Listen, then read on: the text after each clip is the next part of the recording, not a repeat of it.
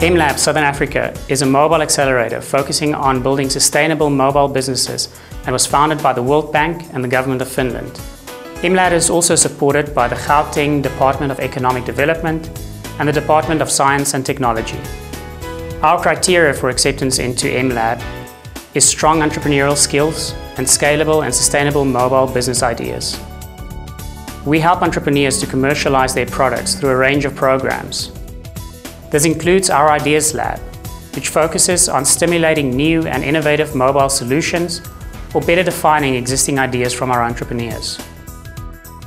Our Accelerator Lab provides these entrepreneurs a dedicated four-month program to develop their application. We also provide technical training and assist with the sourcing of support from our industry and public sector partners. We have a number of projects preparing to launch into market.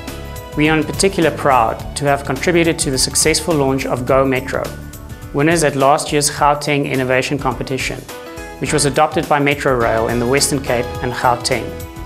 There are great opportunities in Gauteng for entrepreneurs to find innovative mobile solutions in a number of key sectors, including those of this year's Gauteng Innovation Competition, such as community safety, public transport and citizen participation.